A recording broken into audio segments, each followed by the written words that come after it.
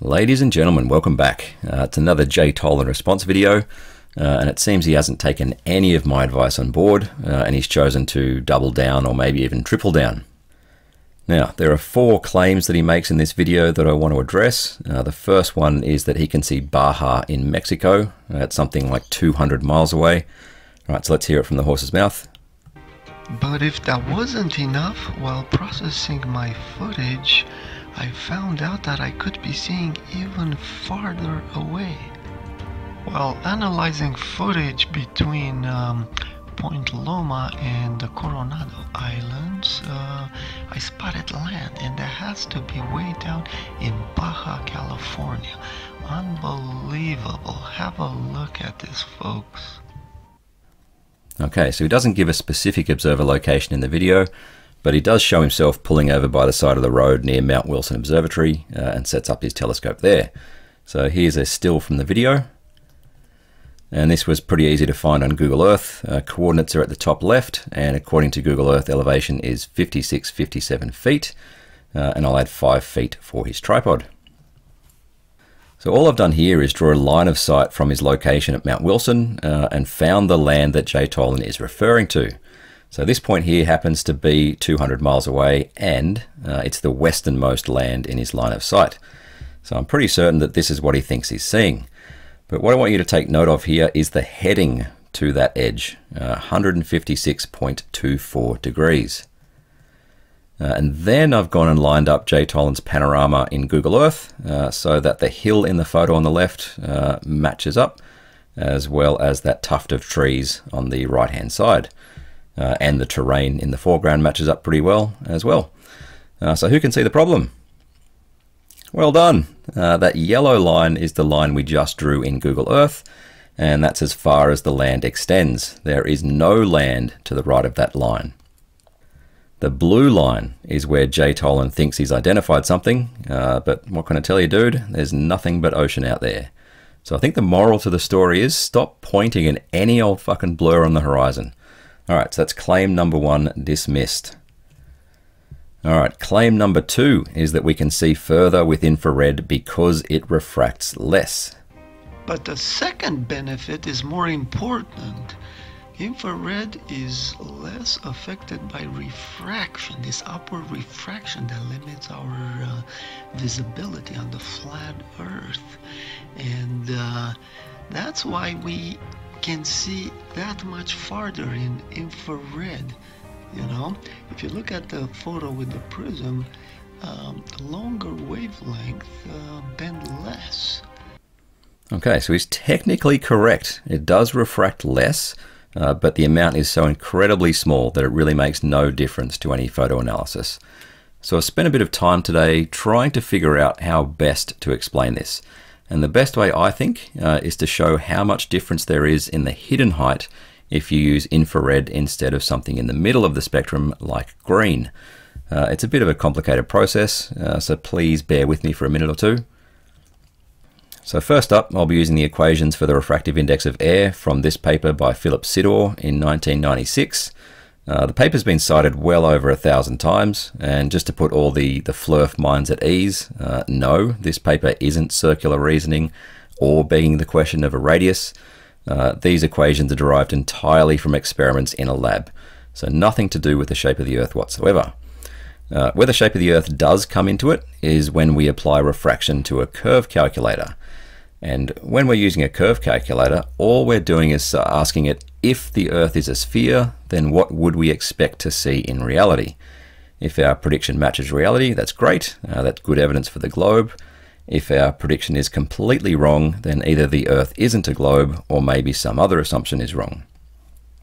And what you'll see most FLERFs do is use an image like the Black Swan to claim that they've debunked the globe, when really all they've done is shown that we can't apply standard refraction to every observation, particularly when those observations are performed very close to the surface. So I've been saying it for years now. Get well above the surface where the conditions are much more stable and refraction is therefore predictable. Uh, I'll have a video coming out in a little while that brings all the data to the table to show this, uh, so keep an eye out for that. And if you've been in this debate for any length of time, uh, you'll know the curve calculators incorporate refraction by using a larger radius than the actual radius of the Earth. And in the Metabunk calculator, that larger radius is one sixth bigger, uh, or 7 over 6r as we call it. Uh, but why do we use a larger radius? Uh, it's really just to simplify the geometry. So in reality, which is complicated, uh, we have curving Earth and a curving light ray. Uh, but doing geometry with two curves is really, really painful. Uh, so it'd be a whole lot easier if the geometry was just one curve and one straight line. So what we do uh, is flatten out the light ray until it's completely straight, but making sure that we maintain the relative curvature between the Earth and the light ray. Uh, so I'm going to start moving that slider up in the top left in a sec, and what I want you to notice is that as the light ray flattens out, uh, we need to increase the radius of the Earth proportionally so that we maintain the relative curvature. So if you watch the, the Earth radius on the x-axis, uh, you'll see it go from 6371 up to about 7500 uh, when the light ray becomes a straight line.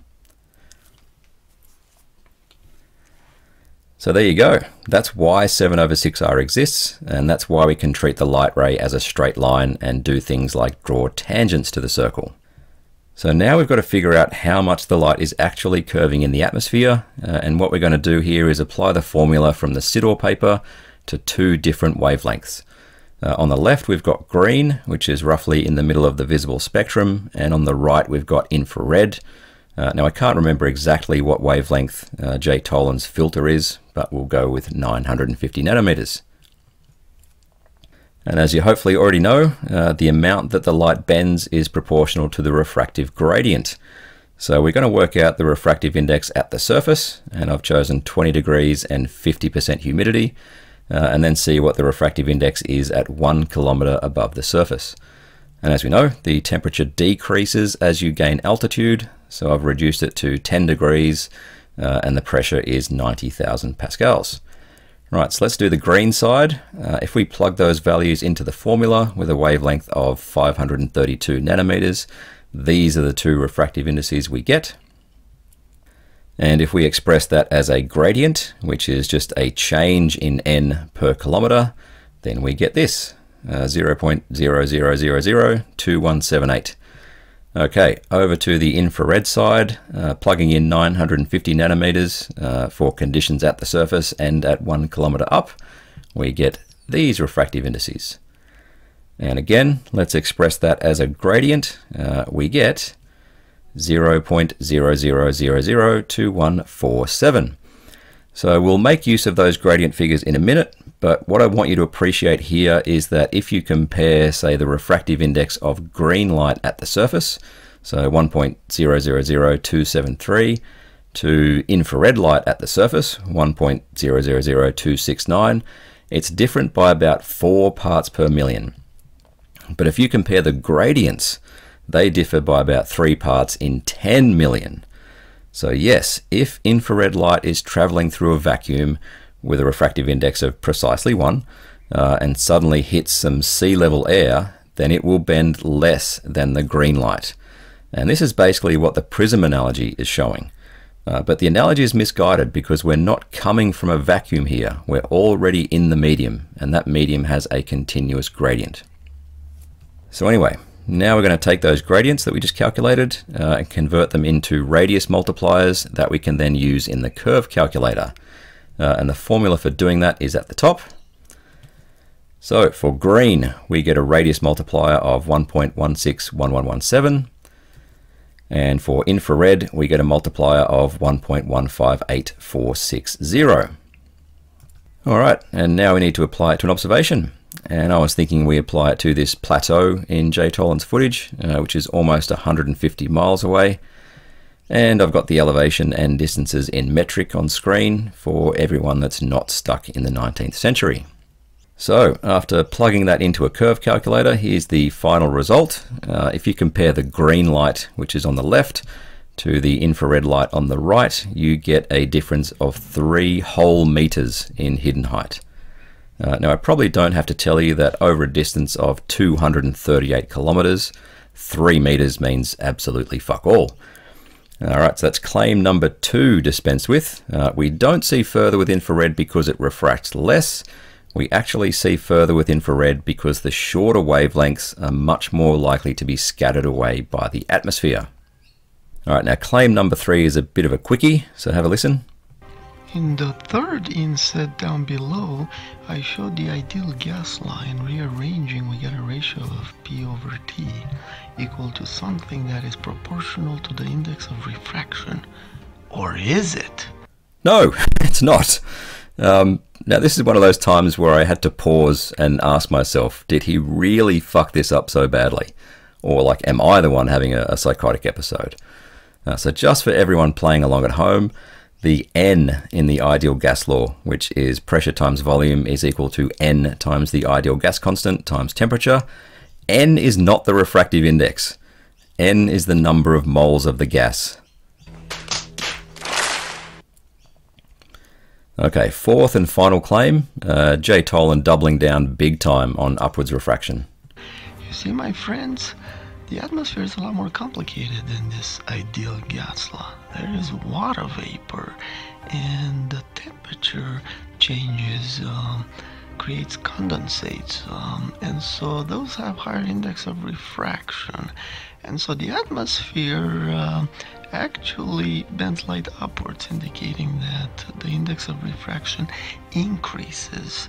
It does not decrease with altitude. Okay, it increases. Oh, dude. I really don't know what to say at this point. You've dug yourself so deep into this upward refraction thing. And I think it's because you know that if you're wrong about it, and light typically bends downwards, it means that all of your previous analyses with your theodolite become excellent globe proofs. So, upwards refraction is the hill you chose to die on. Uh, that's, that's fine with me. Anyway, in this little clip, you do mention temperature and humidity, and yes, they do affect the refractive index. But you know what has an enormous impact? Air pressure. And that kind of surprises me for a guy that flies around the country a lot on pressurized aircraft. So remind me again why they're pressurized? Oh, that's right, because there's not enough fucking air outside. In fact, it's almost like the higher you go up, the less air there is. And the less air there is, the closer it is to a vacuum. And the closer it is to a vacuum, the closer the refractive index gets to 1, right? Isn't that the definition of refractive index? Or is there some kind of homeopathic refraction, where the less air there is, the stronger the refraction? Anyway, that's enough for this video. Uh, feel free to go over to his channel and point out where he went wrong. Uh, he'll probably block you, uh, which is no doubt safer for his mental health uh, than having his whole house of cards fall down. Later.